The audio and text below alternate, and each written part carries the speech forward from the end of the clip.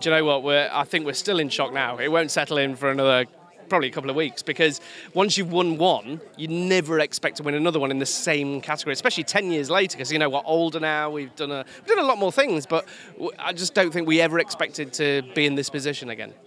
I mean, obviously, Directing, filming, and interviewing at the same time. And doing sound. You are multi skilled to the max. That's four people's I'm, jobs. I'm, I'm, I'm useless at everything. Tele- You see, we joined television 18 years ago, there right? would be like eight There would people have been doing about what eight you're people doing. behind you. All doing a very Look, important job. You're holding the mic. Hey, you're wobbling this about. Asking the us, lights. are talking to us like Michael Parkinson, and project. You have to edit it as well.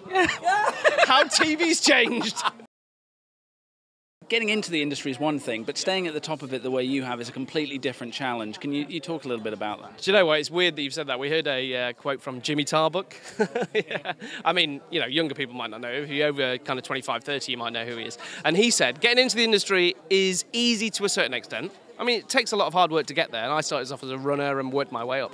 But staying in the industry is even harder because people kind of uh, stop being fans of yours. Uh, you kind of you're not as cool anymore, you know. And we have stuck it out and worked as hard as we can to be here for 18 years, and hopefully another 18 years more. You know, it's not easy. Shut up.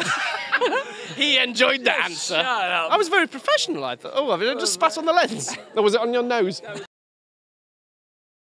Lee English. Do you know why we keep saying that name? Because you forgot to say it at the one moment that mattered. Yeah. During an awards And, speech. no- and nothing that we do now will repair that. No. So, like, no Let me, text, let's no explain. tweet. Let's during an awards speech, you have a list of names just Oh, in case you win. as well.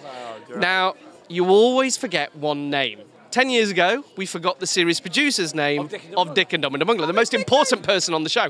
Tonight, we've won this award again and forgotten the most important person for the show we presented, the series producer Lee English. So we've got to go downstairs in a minute and repair that somehow. But, I right, we're going to go back and uh, apologise to him. Did I spit on the lens? Uh, did I spit on you? Did I spit on it? Right, see you later. BAFTA!